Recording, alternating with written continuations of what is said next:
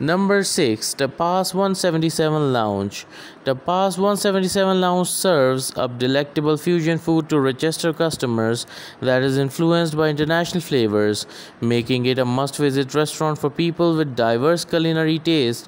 Visitors are greeted at a street level bar that, according to the eatery, provides the greatest martinis in town.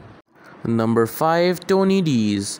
Tony D's is a vibrant Italian restaurant with a fantastic location overlooking the Genesee River in the city's historic Cornhill district.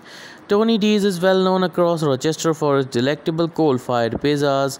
The dining area at Tony D's has an open kitchen where patrons can observe the skilled chefs preparing the restaurant's signature pizzas, which range from traditional margaritas to cutting edge creations like the Carcifoli topped with artichoke hearts, sun dried tomatoes, almond pesto, goat cheese, and pecorino.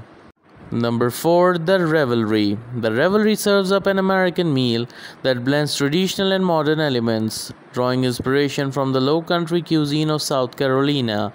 Visitors enjoy inventive delicacies like oysters on half shell with cocktail sauce and truffle mayonnaise, or blackened catfish with frogmore stew, tomato chutney, and puffed Carolina gold rice in the large, soaring dining rooms.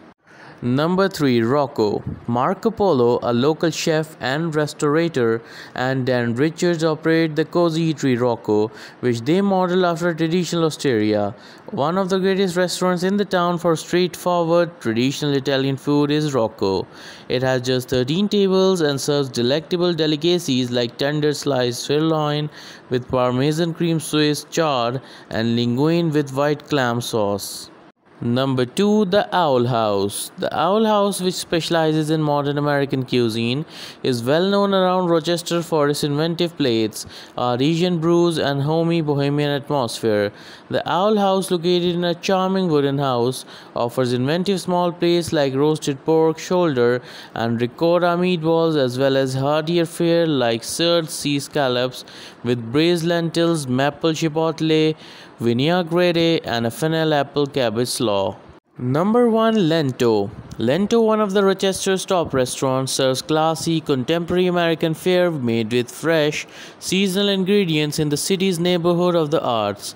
Visitors can expect a top notch dining experience because executive chef and owner Art Rogers has made it to the James Beard Awards Best Chef Northeast semifinalist list.